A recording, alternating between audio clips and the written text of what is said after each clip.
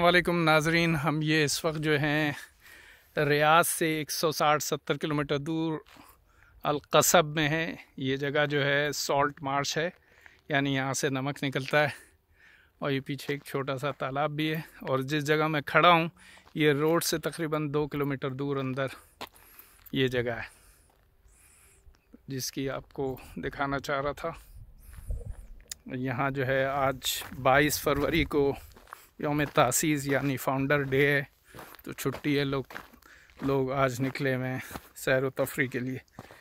तो हमने ये जगह का इंतखब किया, अब इससे आगे हम जो है वो शुगरा जा रहे हैं। वो भी हिस्टोरिकल सिटी है, सऊदी अरब का। जजाकल्ला खैर।